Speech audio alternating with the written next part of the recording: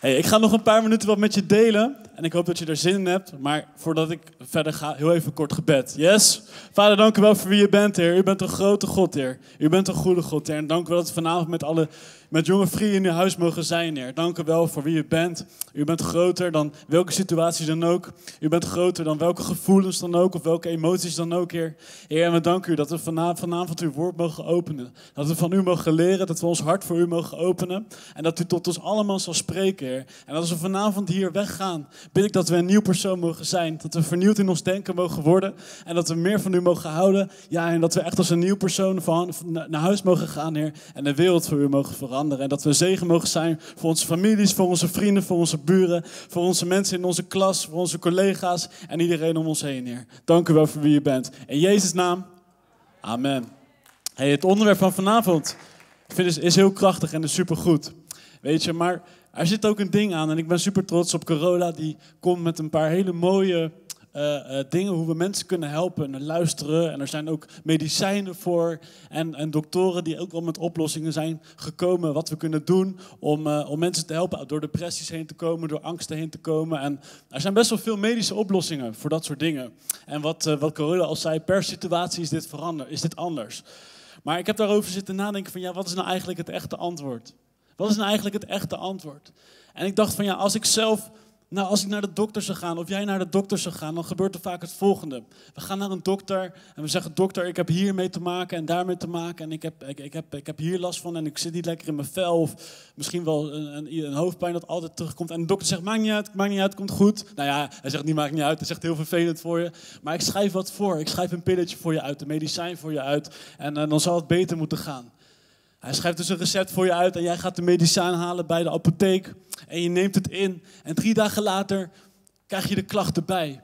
En je gaat weer terug naar de dokter. Van dokter, luister even. Ik heb, ik heb, ik heb deze medicijnen genomen voor die klachten. Maar nu heb ik ook nog dit op deze klachten erbij gekregen. En de dokter zegt, ach ja, dat gebeurt wel eens bij deze medicijnen. Laat me je helpen. Ik heb nog een nieuw medicijn voor je. En hij geeft een nieuw medicijn voor je. En vervolgens word je weer naar de apotheek gestuurd. Ga maar halen. En vervolgens neem je die medicijnen een paar dagen in. En je komt erachter, hè, de symptomen, mijn klachten gaan niet weg, maar ik krijg alleen maar meer symptomen erbij. Want dat is wat er bij een dokter gebeurt. Je krijgt een, een medicijn tegen iets, maar vervolgens komen er nieuwe klachten voor terug. Dat gebeurt vaak.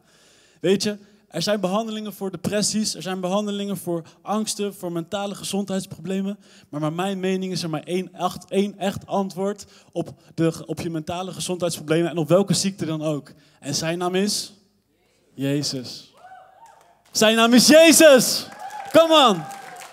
Ik geloof het in het diepst van mijn hart. Weet je wel, van er is maar, er is maar één manier, er is maar één iemand die alles heeft gedragen. Er is maar één iemand die alles heeft gedragen. Al onze ziekte, al onze angsten, al onze emoties, al onze pijn, al onze verdriet. En hij, onder, hij ging onderging het zelf allemaal aan het kruis. We kunnen naar zoveel doktoren gaan. We kunnen naar de duurste dokter gaan in de wereld. Maar ze zouden ons altijd een oplossing geven die misschien even duurt. En ze zullen altijd zeggen, heel misschien gaat het werken, maar we kunnen niks beloven. Er is één iemand en die zegt in zijn woord van, hé, hey, ik ben jouw genezer. En ik beloof jou dat ik jou zal genezen. En in zijn naam, in Jezus' naam, zal je niet nog een nieuw pilletje moeten innemen om beter te worden. Want als hij je geneest, dan zal je genezen zijn. Dat is de God die wij kennen. Dat is de God die wij dienen. En dat is de God die van jou houdt. Zijn naam is Jezus. Hij heeft alles gedragen en dat is mijn eerste punt voor vandaag. Jezus is gekomen om alle moeilijke situaties voor jou te dragen. Jezus is gekomen om alle moeilijke situaties voor jou te dragen. Zeg tegen je buurman, links of rechts van je, Jezus is gekomen om alle moeilijke situaties voor jou te dragen. Matthäus 11, vers 28 tot en met 30. Hij komt op de beamer. We gaan met elkaar lezen. Ben je klaar voor? Kom naar mij, jullie die vermoeid zijn en onder lasten gebukt gaan. Dan zal ik jullie rust geven. Neem mijn juk op je en leer van mij, want ik ben zachtmoedig en nederig van hart. Dan zullen jullie werkelijk rust vinden, want mijn juk is zacht en mijn last is licht. Hé, hey, waar is hetgene waar jij zo moe van wordt? Geef het aan Jezus. Wat is hetgene wat, jij, wat jou elke dag lastig valt? Emoties, nare gevoelens, angsten? Geef het aan Jezus. Wat is hetgene Wat jou misschien elke dag een angst aan kan jagen, of dat je je opgejaagd voelt of onzeker wordt en je vreugde weghaalt. Geef het aan Jezus. En dan zegt hij, en dit is een belofte in de Bijbel, en die belofte mag je pakken. Die belofte mag je pakken voor jezelf. Dan zegt Jezus, dan zal ik jullie rust geven. Neem mijn juk op je en leer van mij. Want ik ben zachtmoedig en nederig van hart. Dan zullen jullie werkelijk rust vinden. Want mijn juk is zacht en mijn last is licht. Bij Jezus kunnen we werkelijk die echte rust vinden. Met medicijnen zou je het nooit weten. En ja, we moeten het zeker proberen. En ja, doktoren gebruikt God om ons beter te maken. Maar vertrouw allereerst op God. Vertrouw allereerst op God. Vertrouw allereerst op het bloed van Jezus. En ik geloof dat je daaruit zoveel kracht gaat zien stromen. Want Jezus heeft gedaan wat we nodig hebben. Hij heeft alles gedragen. Eén druppel bloed van Jezus is genoeg voor jouw genezing. Eén druppel bloed van Jezus is genoeg voor jouw angst. Eén druppel bloed van Jezus is genoeg voor welke situatie in jouw leven dan ook. In Jezus' naam. Amen. Vroeger maakte ik me over alles zorgen. Ik kon heel lang wakker liggen in bed en me zorgen maken over van alles en nog wat. Over school, over de toekomst, over hoe hoe ik er vijf jaar, tien jaar mijn leven eruit zou zien. Over van alles en nog wat. Ik moest leren om op God te vertrouwen, op Hem te vertrouwen. Ik moest leren om op God de Vader te vertrouwen. We hebben een hemelse Vader. We hebben een goede Vader. Hey, en een hemelse Vader zorgt goed voor zijn kinderen. Jij bent een kind van God en hij houdt van jou. En toch, hij, God houdt ook van mij. En toch was ik in mijn bed aan het denken van, Heer, wat, wat, hoe, gaat morgen eruit zien? Hoe gaat vijf jaar, over vijf jaar mijn leven eruit zien? Welke opleiding moet ik kiezen? Heer, ik ben bang voor dit. Heer, wat mijn vrienden dit. Allemaal situaties, allemaal keuzes die ik moet maken. En God zegt tegen mij, hey, vertrouw op mij. Want ik ben een hemelse vader en ik zorg voor mijn kinderen. Ik weet niet waar je vandaag doorheen gaat. Ik weet niet waar je misschien mee te maken hebt op dit moment. Of misschien wel een van jouw vrienden die nu, door een situatie gaat die moeilijk is. God zegt tegen jou en mij: hey, ik weet waar je doorheen gaat. Want mijn zoon Jezus ging daar ook doorheen. Ik ben een hemelse vader en ik zorg voor jou. Blijf op mij vertrouwen. Blijf op mij vertrouwen. Zegt God vandaag tegen jou. En zo vaak zitten we in moeilijke situaties. En dan gaan we door een dal heen. En in een dal zie je vaak grote bergen om je heen liggen. En denk, ik, denk je, Heer, hoe kom ik hieruit? En God zegt tegen jou in dat dal: hey, vertrouw op mij. Want het mooie van een dal is, is dat je er ook weer uit kan klimmen.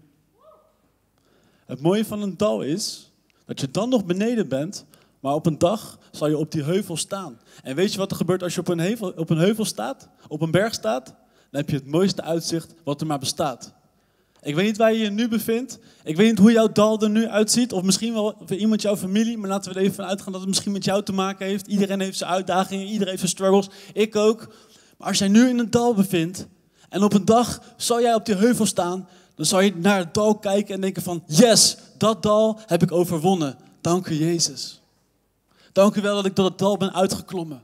En dan eh, sta je op die heuvel en dan heb je een prachtig uitzicht. En dan misschien zal je op een dag dankbaar zijn voor het seizoen waar je doorheen bent gegaan. I know, nu kan je dat niet voorstellen. Ik kan het me ook niet voorstellen. Maar op een dag kijk je terug en denk je van yes, samen met God is het mogelijk. Want hij is een goede vader en hij zorgt voor jou. Hij zorgt voor mij. Hij laat zijn kinderen niet stikken. Nee, hij zorgt voor zijn kinderen. In Johannes 14, vers 6 staat het volgende. Jezus zei, ik ben de weg, de waarheid en het leven. Jullie krijgen een sticker. Jezus is de weg, de waarheid en het leven. Jezus is de weg naar je gezondheid. Waar Hij komt, zal angst vluchten. Waar Jezus komt in jouw leven, zal de situatie moeten vluchten. Jezus is de weg, de waarheid en het leven. Als we dicht naar Hem toe kruipen, als we dicht tegen Jezus aankruipen, en dat betekent door te bidden, door te worshipen en dat je het, verlangen hebt om God beter te leren kennen, dan zal je leven. Dan zal je leven. Dat is, de, dat is hetgene wat Jezus zei. Kruip dicht naar mij toe. En dan zal je leven. En we gaan nog een Bijbeltekst lezen. We hebben veel teksten vandaag. Johannes 7, vers 38. Op de laatste dag, het hoogtepunt van het feest, stond Jezus op en sprak de mensen toe. Als u dorst hebt, kom dan bij mij om te drinken. Er staat geschreven dat stromen van levend water uit uw binnenste zullen komen als u in mij gelooft. Hij sprak hier over de Heilige Geest die gegeven zou worden aan de mensen die in hem geloofden. En dat is gelijk mijn volgende punt. De Heilige Geest geeft jou de kracht voor elke situatie. De Heilige Geest, en dat is Gods geest, dat is God zelf, dat is niet eng, dat is God zelf, geeft jou de kracht voor elke situatie. Jezus zegt, als je dorst hebt, kom bij mij en ik zal je te drinken geven. Hey, wanneer heb je dorst? Wanneer heb je dorst? Als je een gevoel hebt dat je droogte hebt. Als je een gevoel hebt van, ik ga door een droogte heen. Ik heb bepaalde dingen waar, waar, waar, die ik moeilijk vind, die ik niet begrijp. Een bepaalde strijd in mijn gedachten, in mijn hoofd. Dingen die ik over mezelf denk, dingen die ik moeilijk vind, die andere mensen over mij denken. Misschien wel angst, misschien eenzaamheid, misschien wel depressie. Het kan, kan het allemaal zijn. En God zegt tegen mij, tegen jou en mij van, hey, kom bij mij juist als je dorst hebt. Kom juist bij mij als je door een moeilijke tijd gaat. Ga het niet op je eigen probleem doen, maar kom alsjeblieft bij mij en ik zal je te drinken geven. En weet je wat het mooie is als God ons te drinken geeft, als Jezus onszelf te drinken geeft? Is dat het een dorst is die Hij vult en er zal nooit meer droogte komen. Die dorst, Hij geeft hetgene wat we nodig hebben en we zullen nooit meer honger of dorst krijgen. Weet je wat het is met heel veel andere dingen? En dat is mijn probleem ook, en dat is waar we vaak zelf tegenaan lopen, is op het moment dat wij tegen een situatie aanlopen, dat we andere dingen gaan doen die voor, die voor even het gevoel opvullen. Voor mij kan het bijvoorbeeld zijn, stel bijvoorbeeld ik ben even boos op iets, dan kan ik bijvoorbeeld gaan sporten. Misschien wel kitesurfen of misschien wel mountainbiken en keihard gaan sporten om alles eruit te gooien. En dat is een manier om even van het gevoel af te zijn. Om even alles eruit te gooien, even uh, vol eruit. Maar een week later, boem, loop ik weer tegen dezelfde muur aan. Dat komt omdat sport en alle andere dingen die even dat gevoel weg kunnen halen, voor even zijn. Maar Jezus zegt van nee, kom met mij drinken en je zal nooit meer dorst krijgen. En ik wil je bemoedigen vandaag, wat is hetgene voor jou vandaag waar jij naartoe vlucht om even de dorst te vullen? En ik heb dat ook, hè. dit is een verwijt naar niemand toe, want ik doe dit ook, wat ik net zeg. Maar wat is voor jou hetgene waar jij naartoe vlucht om even die dorst, even dat, die leegte op te vullen? Het kan zijn games. Het kan zijn muziek, dat je gewoon keiharde muziek aanzet en alles probeert te vergeten. Het kan zijn Netflix, super chill, je hoeft niet te denken, je kan gewoon op bed liggen en kijken. Lekker makkelijk. hey, wat is hetgene waar je naartoe kan vluchten om die gevoelens van je af te zetten? Maar Jezus zegt van nee, nee, nee, nee, alsjeblieft. Kom naar mij. Kom naar mij, want volgende week zal je weer dorst hebben. Volgende week zal je weer honger hebben. En Netflix zal nooit dat gat kunnen vullen die ik jou kan geven, want daar ben ik God voor. Muziek zal nooit dat gat kunnen vullen, want ik ben God. En muziek vult dat gat voor, voor een uur of een paar dagen, maar volgende week heb je weer dorst. Keihard feesten en heel veel drinken zal voor die avond even je verlangen vullen, maar na een week zal je weer dorst hebben. Geloof me, ik ben ook jong geweest. Het is leuk voor die avond, maar de volgende dag heb je er spijt van. Je denkt van, Heer, waar ben ik aan begonnen? Iemand denkt nu van, huh? Onze youthpastor heeft ook gedronken? Ja, ik heb ook gedronken. En ik heb vergeving gevraagd aan de Heer en ik beloof dat ik het nooit meer zal doen. Nou ja, eentje dan. Niks tegen mijn moeder zeggen. Hé, hey, maar we hebben Gods geest nodig om te overwinnen. We hebben de Heilige Geest nodig om te overwinnen. En als je denkt van wat is de Heilige Geest, ik snap dat allemaal niet, ga naar de Alpha-cursus. Ga naar Bart, ga naar Ferdinand, want daar ga je leren over wat is de Heilige Geest. Wat is de rol van de Heilige Geest? We hebben de Vader, de Zoon en de Heilige Geest. Huh, waarom zoveel? Waarom drie dingen? Waarom drie personen die allemaal God zijn en ook allemaal gelijk zijn? Huh, hoe zit dat Ruben? Leg uit. Ga naar de Alpha-cursus.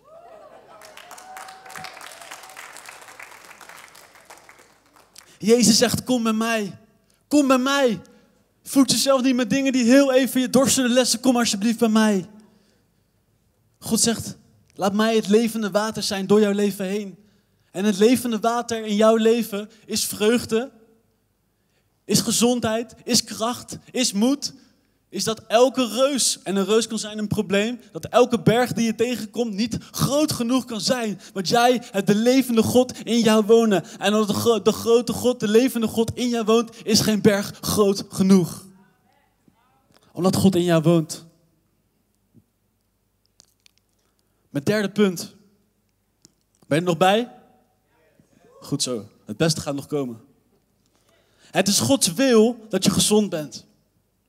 Het is Gods wil dat je gezond bent. Zeg tegen je buurman, het is Gods wil dat je gezond bent.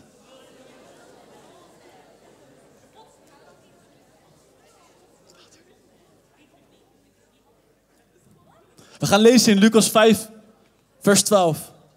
In een van de stadjes waar zij kwamen, viel hun oog op een man die helemaal melaats was. Dat is een ziekte. Toen de man Jezus zag aankomen, viel hij voor hem neer met zijn gezicht in het stof. Heren, smeekte hij, als u wilt, kunt u mij genezen. Jezus stak zijn hand uit, raakte de man aan en zei, natuurlijk wil ik dat. Wees genezen van deze ziekte en de melaatsheid verdween onmiddellijk. De melaatsheid verdween onmiddellijk. Ja. Hey, er zijn mensen die zeggen, er zijn mensen die zeggen, God genas alleen back in the days, in de eerste kerk, in de tijden van Jezus, in de tijden van de discipelen. Omdat toen begon de kerk, hè, dus er moesten ook wonderen en genezingen zijn om het evangelie te verspreiden, om de wereld te vertellen wat Jezus had gedaan. Dat is wat, wat heel veel mensen geloven. Maar als we willen weten wat de wil van God de Vader is, dan kijken we naar Jezus. Als we willen weten wat, wat, hoe, hoe God was, dan kijken we naar Jezus. Waarom? Omdat hij mens was. Hij was zoals jou en mij. Hij was God 100%, maar hij was ook tegelijkertijd 100% mens. Dus als we willen kijken van hoe zou God willen hoe we leven, dan kijken we naar Jezus. Als we willen weten wat de wil van God de Vader was, dan kijken we naar Jezus. Want Jezus was een mens, dus dan moet hij ongeveer zoals ons zijn geweest. Nou, wat we lezen in de Bijbel. En als ik dan deze tekst lees, dan vraagt, vraagt de Melaatse man aan Jezus: Jezus, kunt u, kunt u me alstublieft gezond maken? Kunt u me alstublieft genezen? En Jezus zegt tegen de Melaatse man: Natuurlijk wil ik dat. Natuurlijk wil ik dat. Natuurlijk wil ik dat je gezond bent. Hé, hey, als jij en ik vandaag door ziekte gaan, door een gezondheidsprobleem gaan. En dat kan niet alleen pijn zijn. Ziek zijn kan ook zijn dat, dat je gewoon niet lekker in je vel zit. Dat je te maken hebt met, met, misschien emoties die je continu dwars zitten. Of dat kan zijn misschien wel angst of depressie. Dat kan ook zijn wat God wil genezen. Dat niet bij je hoort, dat iets van je wegrooft. Als vreugde, als je denkt van ik kom vreugde tekort, dan is dat iets, of ik zou graag vreugdevoller willen zijn, dan is dat iets wat, wat wordt weggeroofd. En God zegt, natuurlijk wil ik dat genezen. Die angst, natuurlijk wil ik dat genezen. Die angstaanvallen, die hyperventilatie, ineens uit het niets, natuurlijk wil ik dat genezen. God wil alles genezen, want Hij is een genezer. En natuurlijk wil ik dat, zegt Jezus tegen jou.